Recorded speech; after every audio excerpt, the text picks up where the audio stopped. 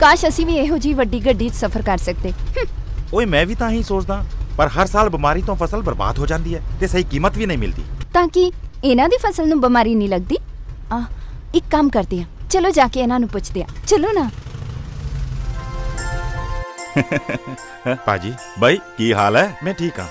ਇਹ ਦੱਸੋ ਤੁਹਾਡੇ ਜਿੰਨੀ ਜ਼ਮੀਨ ਤਾਂ ਮੇਰੇ ਕੋਲ ਵੀ ਹੈ ਪਰ ਤੁਹਾਡੀ ਉਪਜ ਇੰਨੀ ਜ਼ਿਆਦਾ ਤੇ ਸ਼ਾਨਦਾਰ। ਕਿਵੇਂ?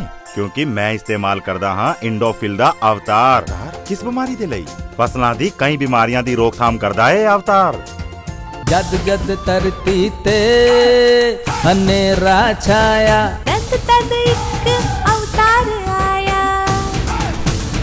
ਅਣਹੋਣੀ ਨੂੰ ਕਰ ਦੇਵੇ ਹੋਣੀ।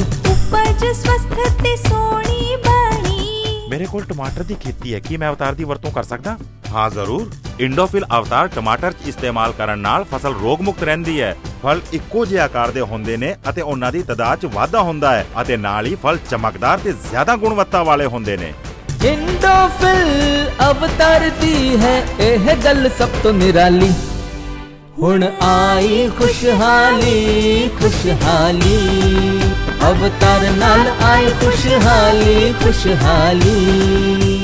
ਖੁਸ਼ਹਾਲੀ ਦਾ ਪੱਕਾ ਵਾਦਾ ਇੰਡੋਫਿਲ ਦਾ ਅਵਤਾਰ।